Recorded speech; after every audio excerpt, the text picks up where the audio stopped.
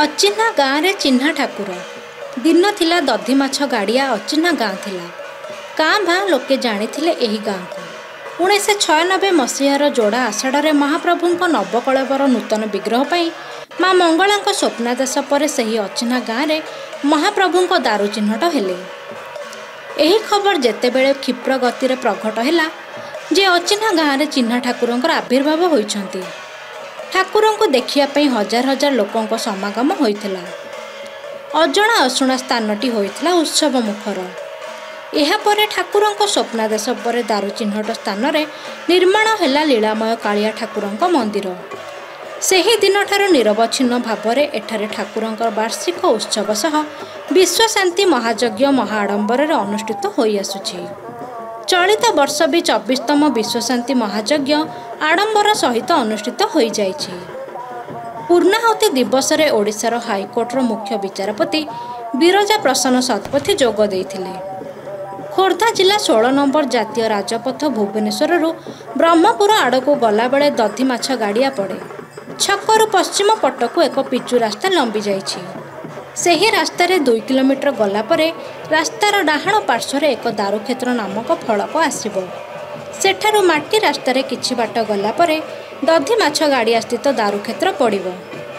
ଭକ୍ତମାନଙ୍କ କହିବା ଅନୁଯାୟୀ ଦାରୁପ୍ରାପ୍ତ ପତିତ ପାବନ ଦେବଙ୍କ ପୀଠରେ ପୁରୀ ଜଗନ୍ନାଥ ମହାପ୍ରଭୁଙ୍କ ପାରମ୍ପରିକ ରୀତିନୀତି ଅନୁଯାୟୀ ଏଠାରେ ମଧ୍ୟ ବାର ମାସରେ ତେର ପର୍ବ ପାଳନ କରାଯାଏ। ଦାରୁଚୟନ ନୀତି ଅନୁସାରେ ଦଇତାମାନଙ୍କୁ ସ୍ୱପ୍ନ ହୁଏ ମଙ୍ଗଳାଙ୍କ ପାଖରେ। ସେହି ସ୍ୱପ୍ନାଦେଶ ବଳରେ ସେମାନେ ଆମ ଗାଁକୁ ଆସିଲେ ଏବଂ ଏ ନିର୍ଦ୍ଦିଷ୍ଟ ଦାରୁକୁ ଚୟନ କରାଗଲା। ତାପରେ ତ ଯାନି ଯାତ୍ରା ଏଠି ଲାଗିଗଲା ତାଙ୍କର ନୀତି ଅନୁସାରେ ସେମାନେ ଏଠି ଡେରା ପକାଇଲେ। ତାପରେ ଦାରୁ ଛେଦନ ହେଲା ଏବଂ ସେଇ ଦାରୁ ବ୍ରହ୍ମଙ୍କୁ ନେଇକିରି ସେମାନେ ଗଲେ ଜଗନ୍ନାଥ ମାନେ ପୁରୀ ଗଲେ। ଉଣେଇଶହ ଅଠାନବେରେ ସ୍ୱପ୍ନାଦେଶ ବଳରେ ଏଠାରେ ମନ୍ଦିର ପ୍ରତିଷ୍ଠା ହୋଇଛି ଜଗନ୍ନାଥଙ୍କ ମନ୍ଦିର ପ୍ରତିଷ୍ଠା ହୋଇଛି ଯାହାକି ପତିତପାବନ ମନ୍ଦିର ନାମରେ ଖ୍ୟାତ। ସେହି ଦିନଠାରୁ ଏଠାରେ ବିଶ୍ୱଶାନ୍ତି ମହାଯଜ୍ଞ ତିନି ଦିନ ଧରି ଚାଲିଛି। ଏହି ଯଜ୍ଞରେ ପ୍ରତି ବର୍ଷ କେହି ଜଜ୍ କିମ୍ବା କିଏ ଭି ଆଇ ପି ସବୁ ଆସିକି ଦିଅନ୍ତି ଇଏ। ବହୁ ଲୋକଙ୍କର ଜନସମାଗମ ଏଠି ସମାଗମ ହୁଏ। ନାଇଁ ଆଜି ପର୍ଯ୍ୟନ୍ତ ଏଠାରେ ଏତେ ଇଏ ହେଲେ ମଧ୍ୟ କୌଣସି ସରକାରୀ ବ୍ୟବସ୍ଥା ହୋଇନାହିଁ କି ସରକାରୀ ସଂସ୍ଥାରୁ କିଛି ବି ପ୍ରାପ୍ତ ଆମେ ପାଇନାହୁଁ।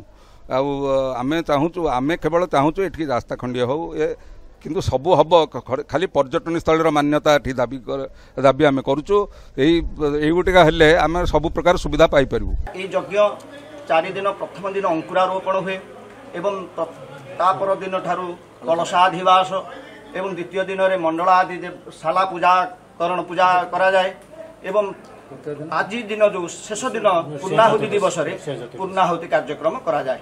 ଏବଂ ପ୍ରତ୍ୟହ ଆମର ପ୍ରଥମ ସକାଳ ଛଅ ଘଣ୍ଟିକା ସାତ ଘଣ୍ଟିକାରୁ ଆମର ସୂର୍ଯ୍ୟମଣ୍ଡଳ ଘଣ୍ଟେ ଭିତରେ ସୂର୍ଯ୍ୟମଣ୍ଡଳ ବିଭିନ୍ନ ପ୍ରକାର ପ୍ରତି ଦୁଇ ଦିନର ଯେଉଁ ଯେଉଁ ବିଧି ଅନୁସାରେ ସୂର୍ଯ୍ୟମଣ୍ଡଳ ପଡ଼େ ସୂର୍ଯ୍ୟାର୍ଘ୍ୟ ଦେଇସାରିଲା ପରେ ଆମର ଦ୍ୱାର ପୂଜା ହୁଏ। ଦ୍ୱାର ପୂଜା ସରିଲା ପରେ ଆଚାର୍ଯ୍ୟ ମହୋଦୟ ଏବଂ କର୍ତ୍ତା ଶାଲା ପ୍ରବେଶ କରନ୍ତି। ଶାଲା ପ୍ରବେଶ କରିବା ସମୟରେ ଆମର ଚତୁର୍ବେଦ ପାଠ ପଠନ କରାଯାଏ ବେଦ ପାଠ ହୁଏ। ପ୍ରତିବର୍ଷ ଏହି ଯଜ୍ଞ ଅନୁଷ୍ଠାନରେ ବହୁ ପ୍ରତିଷ୍ଠିତ ବ୍ୟକ୍ତିବିଶେଷ ଯୋଗ ଦିଅନ୍ତି।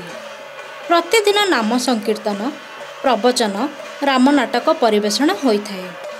ତା ସହିତ ପ୍ରଥମ ଦିନ ଅଙ୍କୁର ରୋପଣ କରାଯାଇ ପ୍ରତିଦିନ ସକାଳେ ସୂର୍ଯ୍ୟ ପୂଜାରୁ ଆରମ୍ଭ କରାଯାଏ ବୈଦିକ ରୀତିନୀତି।